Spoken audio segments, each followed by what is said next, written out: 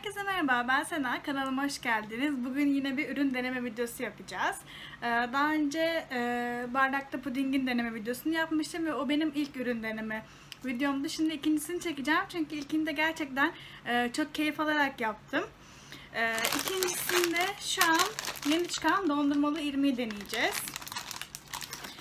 Argidan'ın çıkardığı bir şey. E, ilk yaptığımda yani ilk bardakta e, puding videosunu çektiğimde genelde bana sorulan sorular şu oldu. İşte ne kadar aldın hangi marketten aldın? Gerçi o zaman söylemiştim fiyatını E, ama yine tekrar soranlar oldu. O yüzden e, bu videoyu da başlarken ilk olarak o tarz detayları vermek istiyorum. Ee, yer olarak Migros'tan aldım ama A101'de, A101'de de gördüm. Daha sonra orada da satıldığını gördüm. Fiyat olarak içinde iki, tane, iki porsiyon var. Fiyat olarak da 13,5 liraydı. Dediğim gibi Migros'tan aldım. Ee, şimdi bunu birlikte sizlerle birlikte yapacağım. Daha sonra tadına bakacağım. Nasıl olduğunu yorumlayacağım. Şimdi paketin üzerindeki yapılış detaylarını okuyorum. Şurasında yazıyor. Ben size bunları okuyayım. Ee, kaynattığınız suyu derin bir kaseye koyun. Kutudan çıkardığınız bir porsiyon irmik helvalı dondurmayı paketiyle beraber suyun içine yerleştirin. 2-3 dakika bekleyin. İrmik helvalı dondurmayı tabağa ters çevirerek servis yapın ve keyfini çıkartın. Şimdi bakalım dedikleri gibi olacak mı?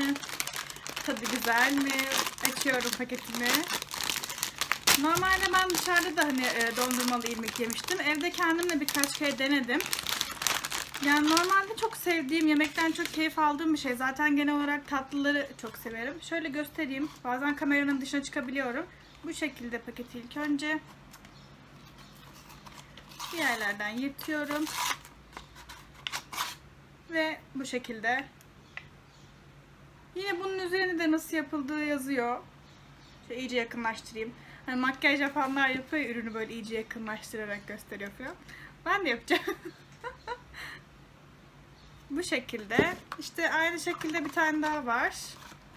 İki porsiyon çıkıyor içinden. Ben şimdi önceden e, suyumu kaynattım. Suyum içeride hazır. Bir kabın içine koyup geliyorum. Ondan sonra deneyelim bakalım nasıl olacak. Dedikleri gibi olacak mı ve tadı nasıl?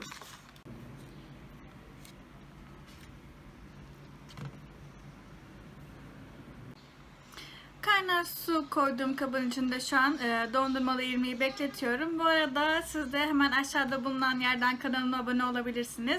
Zili açabilirsiniz ki yeni videolar yüklediğimde görebilin. Ayrıca bu deneme videosu hoşunuza gittiyse dediğim gibi daha önce de e, Doktor Ötken'in yeni çıkardığı bardakta pudingin e, denemesini yaptığım videom var. Onun da linkini hemen aşağıya bırakırım. E, oradan e, ona da ulaşıp izleyebilirsiniz. Ayrıca bunun gibi yeni çıkan bir ürün olduğu zaman bana hemen yorumlarda yazarak bunu dener misin derseniz ben de gidip hemen onu alır e, dener ve sizin için videosunu çekerim. 3 dakika bir türlü geçmedi. evet bekleme süremiz doldu çıkardım şu an. E, kaynar su elimi yakmasın diye de hemen bir altını kuruladım. Şimdi artık bundan sonra açıyoruz şu şekilde. Bir saniye açıyorum hemen. Böyle tek elle biraz zor oldu. Ve paketi açtığımda bu şekilde bir görüntüyle karşılaşıyorum. E, dondurmanın erimesini istemiyorsanız e, üst kısmına kaynar su gelmemesine dikkat edin. Ben dökerken biraz üstüne kaynar su gelmişti. O yüzden dondurmasında biraz erime olmuş. E, siz getirmezseniz sadece bu alt kısmı e, irmik olan kısmı kaynar suya denk gelecek. Buna dikkat ederseniz problem kalmaz. Şimdi ters çeviriyoruz. Dondurma akıyor hemen çevireyim. Şöyle yapayım. Hop.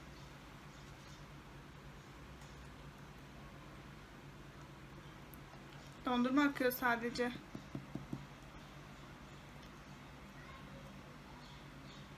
Ama irmiğin de düşmesi gerek. Ben bunu hemen çözüyorum. evet iki elimle yaptığım zaman daha kolay oldu. Ben de biraz parçalanmaları oldu ama tabi çok sıkıntı değil. Kenarlardan biraz dondurma aktı. O da dediğim gibi kaynar suyu dondurma kısmına getirmezseniz daha iyi olur. Görüntü olarak şu anda bu şekilde. Şimdi tadına bakalım. Evet. Şu iç kısmının dondurmasını alacağım. Oralar hala erimemiş.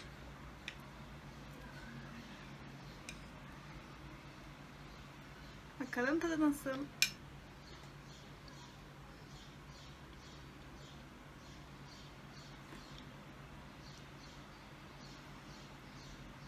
Tat olarak şunu söyleyebilirim. Dondurma kısmı zaten çok güzel. Onunla karşı bir yorumum yok. İrmik helvası açısından ben normalde çok tatlı e, yani irmik helvası yaparken de çok tatlı severim. Normalde şerbetli tatlıları çok severim. Sadece e, irmik helvasının şekerini biraz fazla buldum. Eğer böyle aşırı tatlı sevmiyorsanız size biraz şekeri fazla gelecektir. Tabi dondurma ile birlikte yediğinizde biraz daha dengeliyor. Ama yine de irmik kısmını biraz şekerli buldum. Onun dışında tat olarak gerçekten güzel, başarılı olmuş.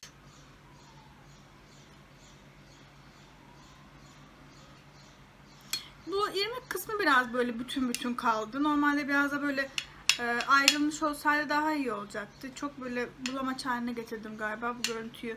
Daha fazla göstermeyeyim. Son olarak kısa bir değerlendirme yapacak olursam yapılış kısmı gayet kolaydı. Kaynar suyun içinde birkaç dakika e, beklettim. Ondan sonra ters çevirdim. Hemen hazırdı. Yapılış olarak hiçbir sıkıntısı yok. Zaten hazır bir ürün. Zaten yapılışta bir e, zorluğu olmaması gerekiyor. Onun için dediğim gibi irmik helvası kısmını biraz böyle şekerli buldum. Ben normalde şekerli sevmeme rağmen biraz şekerli buldum. Şekeri biraz az olabilirdi. Tat olarak bakarsam da gayet e, tadını beğendim. Tat olarak bende hiçbir sıkıntı yoktu.